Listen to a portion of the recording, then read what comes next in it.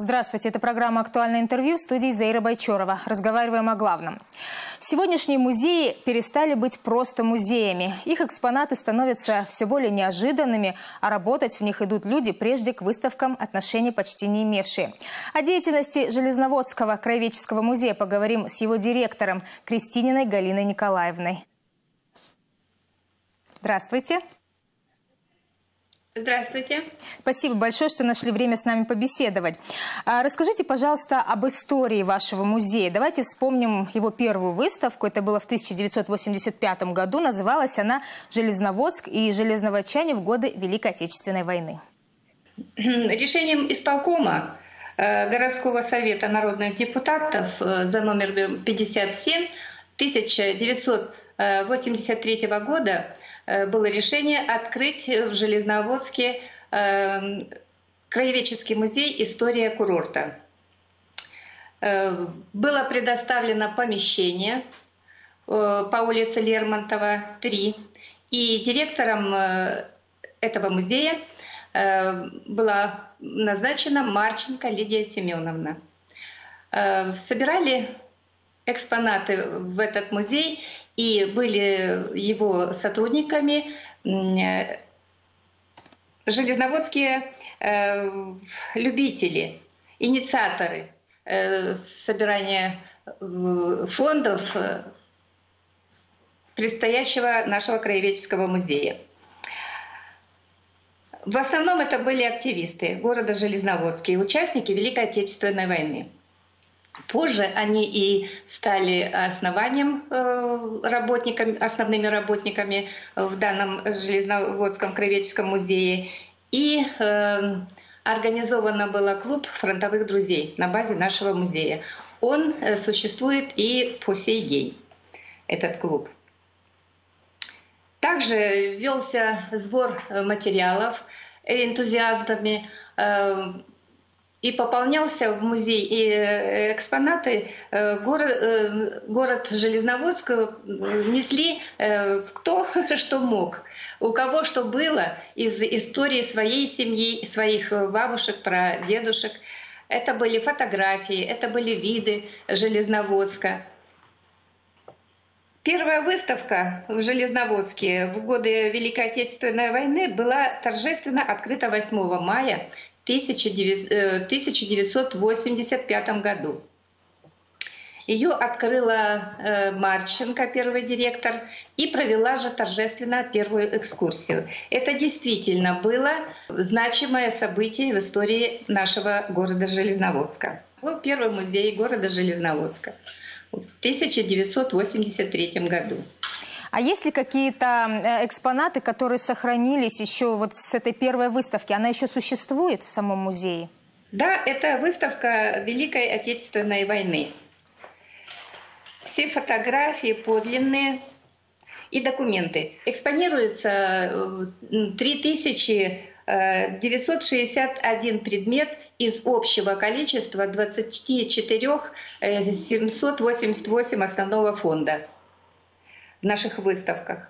А какие это предметы? Расскажите, пожалуйста, очень интересно. Вот приведите конкретные примеры, что можно увидеть вот э, на этой выставке. На этой выставке можно увидеть э, фотографии.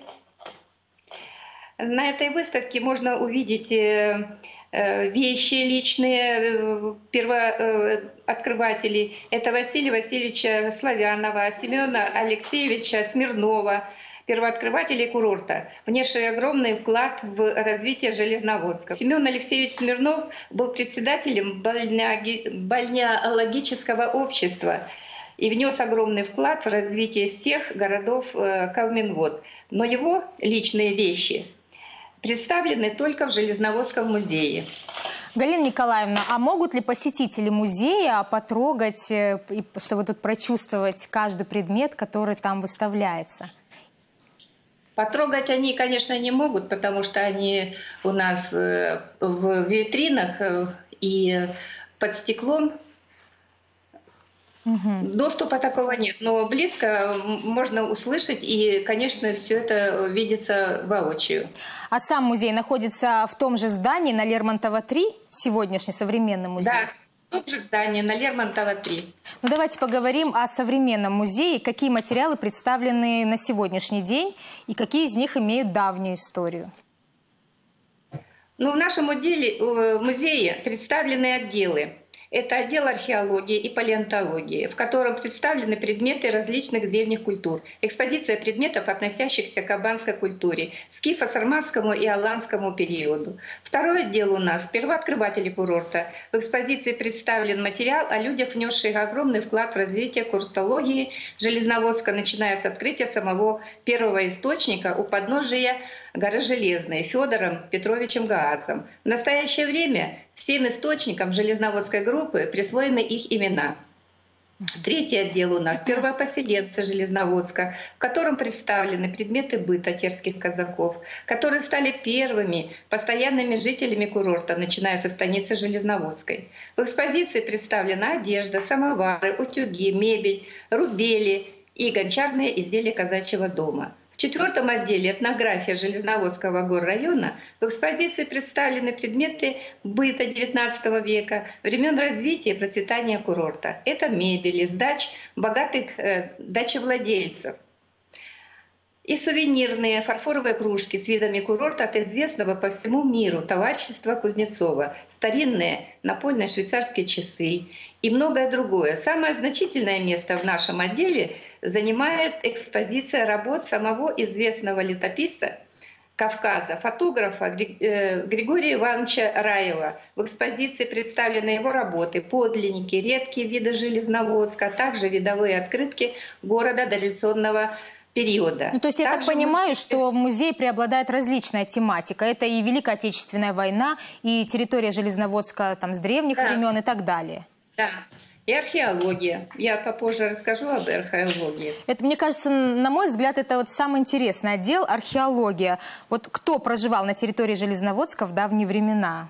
Очень интересно узнать. В отделе археологии представлены уникальные экспонаты, которые относятся к культуре народов, живших на территории современного Железноводска. В древние времена – кабанцы, скифы, сарматы, аланы – в экспозиции представлены бронзовые женские украшения, бусы, из сердолика различные амулеты, зеркала, конская упряжь, бусы из яшмы и синей пасты, мелкие кусочки от керамических сосудов без орнамента и другие предметы древнего быта. Но мы как работники, конечно, все это видели воочию, очень красивые изделия и очень э, востребованные э, к осмотру. Ну, вы вот рассказали немного об отделе вот Великой Отечественной войны, рассказали немного об отделе археологии. Давайте пробежимся и по остальным отделам. Тоже вкратце расскажите, какие материалы представлены в них. Э, на территории Железноводска в разные времена были найдены различные древние захоронения. С дореволюционного времени наш район исследовали многие знаменитые археологи. Было найдено множество различных захоронений, указывающих на поселение различными древними народностями нашего района. На восточном крутом подножии развалки были обнаружены ранние средневековые склепы. Место, где расположен некрополь, представлен собой остров горы, поросший лесом вдоль восточного края которого устроены эти усыпальницы. В дореволюционные годы при строительстве водовода от графского источника к Железноводску рабочие обнаружили таинственные землянки. Вероятно, с тех пор старожилы это место именуют не менее таинственным названием «клады». В 1935 году археологи исследовали эти склепы и убедились, что их давно разграбили и сильно повредили искатели кладов. Чудом сохранились украшения из листового золота, с вставками из альмальдинов и из перламутра. Древние золотые украшения хранятся в фондах нашего музея. Очень редкие и ценные экспонаты – в нашем музее в отделе археологии представлен скелет древнего воина из захоронения, найденного при строительстве магазина в западной части города. При ритье котлована под фундамент здания были разрушены захоронения, были разрушены захоронения в каменных ящиках. В соседнем частном доме весь двор был выслан плитами из этих ящиков. Группа энтузиастов под руководством археолога Рудницкого романа раскопали одно нетронутое захоронение в 1996 году. При вскрытии каменного ящика был обнаружен костяк мужчины в э, скорченном виде положение лежа на боку. В изголовье стояла керамическая чаша, сбоку лежало более 40 бронзовых наконечников стрел. Судя по расположению, это бы, они были в колчане. Там же был железный наконечник копья, оселок и железный нож. Захоронение отнесено к кабанской культуре. У нас этот э, воин тоже востребован к осмотру. Все, что вы рассказываете, это очень интересно. Судя по всему, у вас в музее представлены ценнейшие экспонаты. Расскажите, пожалуйста, каким образом и насколько часто пополняется фонд музея? Принимают ли участие в этом, ну, например, жители Железноводска? Жители Железноводска э, приносят э, часто ну, не очень часто. Раньше было немного по... Э, ну, чаще приносили. А в данное время приносят мало. В основном это энтузиасты нашего музея, работники. Многие в интернете даже сами покупают. Э, я сама тоже, мне от свекрови достались очень многие э, предметы быта. Мы все приносим в музей. И Например, какие это предметы и... быта? Перечислите, пожалуйста, что это? Посуда, одежда? Ну, это постельное белье, ручной работы, вышивки, это выбитые э, скатерти, это рушники казачьи, покрывала старинные. То есть это приносят жители. А так вот вы, в принципе, сотрудничаете, наверное, с какими-то организациями, которые принимают участие в раскопках, да? Да, принимают участие. Буквально недавно на, к нам поступила э, заявка о принятии археологических э, раскопок. Э, мы вот готовимся к их принятию. Угу. Расскажите, пожалуйста, да, кто ваша целевая аудитория? Как организованы экскурсии в, маш, в вашем музее? И работаете ли вы с посетителями иностранцами? Все-таки Железноводск – это город-курорт, наверное, ну, иногда иностранцы приезжают. аудитория, да, я поняла.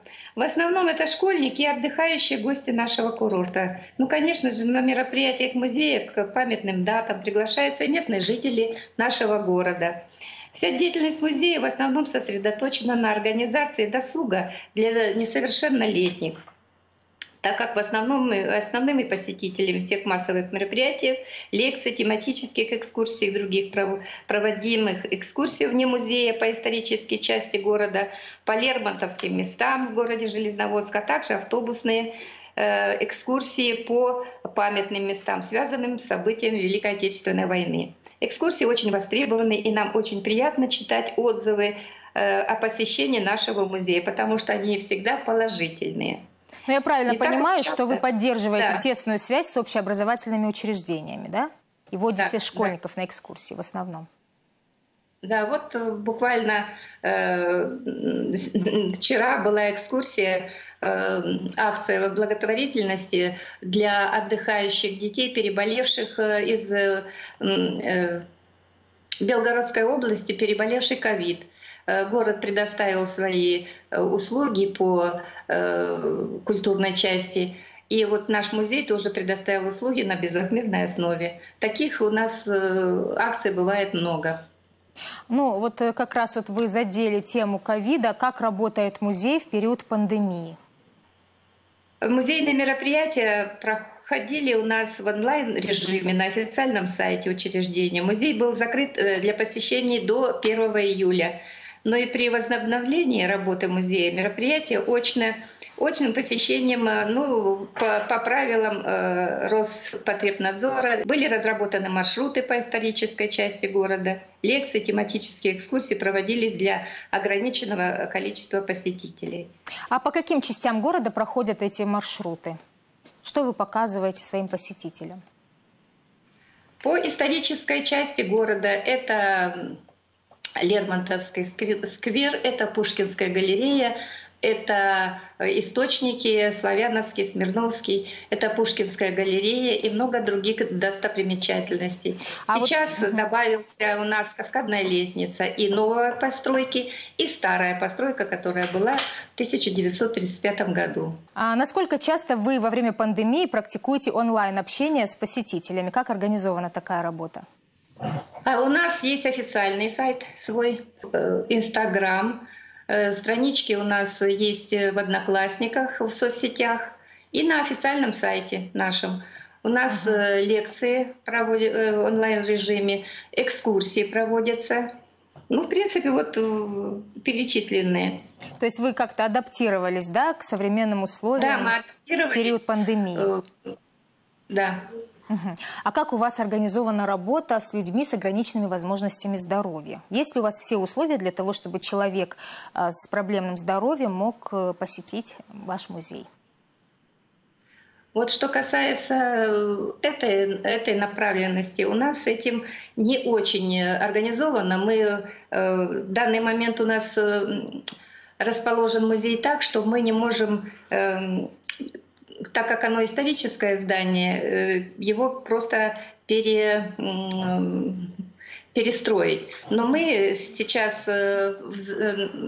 оформили заявку на Министерство культуры, которая будем э, улучшать условия для того, чтобы у нас малогабаритные группы и инвалиды могли э, посещать, и это и пандусы, пандус, это и подъемники. Будем сейчас об этом э, думать. А на, на сегодняшний день у нас такая работа ведется только для ну, незрячих, таких, которые на колясках не двигаются, а сами.